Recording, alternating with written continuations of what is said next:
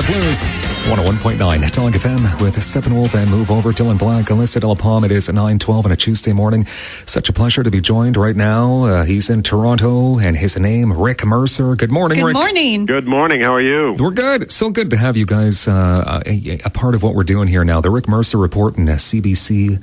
Uh, you got the, the new show. Is this the 10th season This going is on? our tenth season. Yeah, isn't that amazing? Did you ever think it was get, it would get to this point? Well, people do less time for manslaughter. Yes. it's it's worked out well.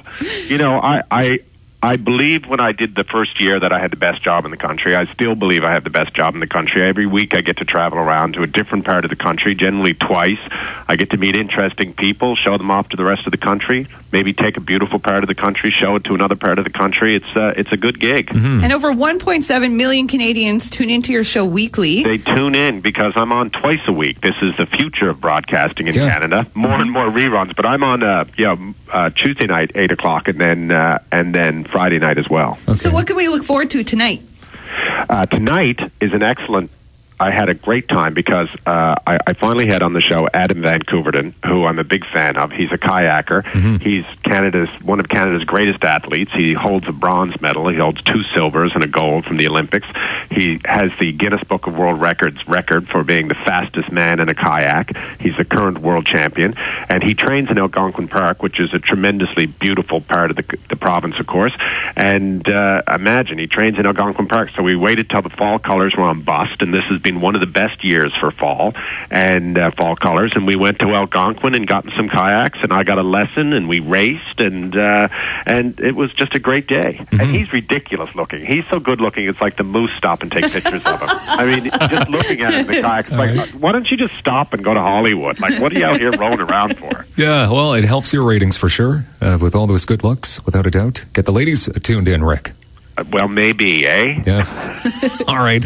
Uh, now, uh, some of the highlights of the season, though. I mean, where you were, I loved it when you were on the roller coasters at Canada's Wonderland. Yeah, I'm not a roller coaster guy, but I think I am now. I went on the Leviathan, but I'm not a fair like I'm not a guy who goes out looking for adrenaline rushes, but it just happens that way. I mean, also tonight I go to the Rockton Fall Fair, which is an agricultural fair, and you think, okay, Rick's going to hang out with alpacas and chickens and sheep and that kind of business and meet some farmers, and but of course, it's a fall fair. But they at, in the evening they have a demolition derby, and they five thousand people show up for this demolition derby. And I went there, and next thing you know, I was in the rollover contest, which is a contest where you get in a car and then you drive it into the ring. You start way down the street, you drive it into the ring as fast as your beat up car will go. Mm-hmm. Then you hit a ramp only on your two left tires, and then when you get to the top of the ramp, you crank the wheel, and then you flip off the top of the ramp.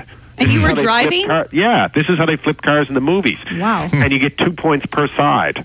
And if your car is still running when you land on the tires, if you're lucky enough to land on your tires and not your roof, you get an extra two points. Well, it's- I don't think there's any skill involved in keeping your motor running. Really, that's in God's hands at that point. But Yeah. uh, it was a good time. well, it sounds good. Of course, you got the photo challenge going on at your website as well, rickmercer.com. It looks like Gary Bettman's doing something that people are definitely going to comment on here. Well, the the photo challenge is just it's complete childish fun. Really, Mm-hmm. we put up a picture, and then hopefully people at work take time.